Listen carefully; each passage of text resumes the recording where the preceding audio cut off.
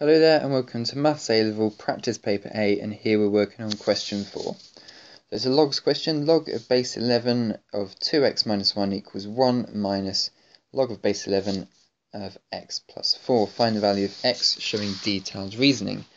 Okay, so what we're going to aim to do here is get all our logs on one side, take 11 to the power of both sides and then we'll sort things out from there. So start with log base 11 2x minus 1. Uh, and then what we're going to do here, first of all, is we're going to add the um, log base 11 of x, minus, x plus 4 onto the other side like this. So log base 11 of x plus 4, and that's going to equal 1. Now what we're going to do next is we're going to use the law of logs, where if you log, if you add two logs together, then you can combine them together by multiplying the values inside the logs, just like this rule here. So it's going to be log base 11 of 2x minus 1 times x plus 4 uh, equals 1. So we've just simplified the left-hand side here.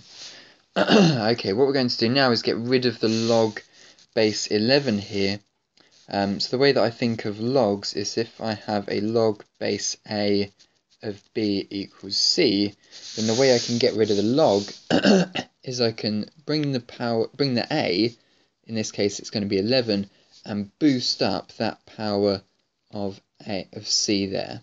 So it's then going to be a to the power of c equals what we've got left inside the log there. So the 11 is going to come along, boost up the 11,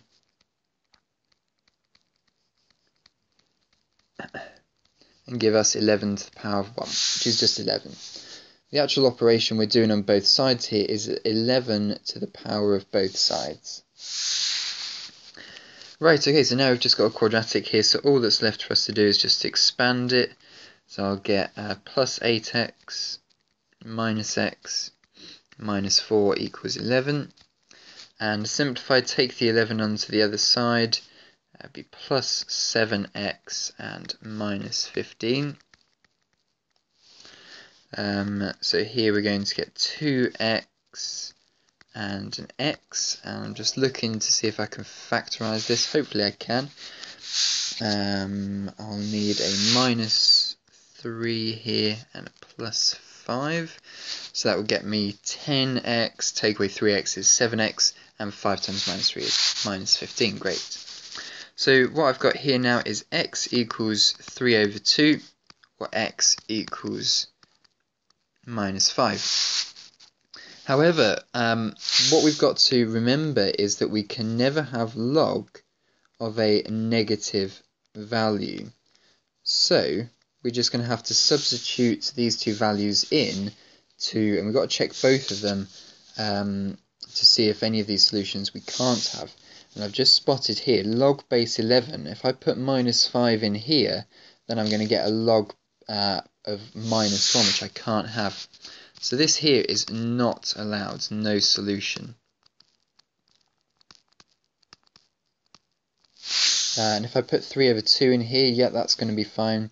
3 over 2 in here, yeah, that's going to be fine. So this one here is allowed. So my single solution is x equals 3 over 2.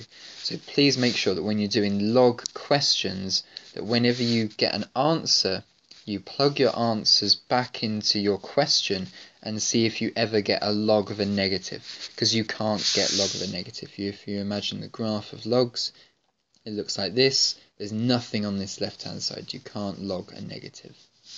Okay, six marks.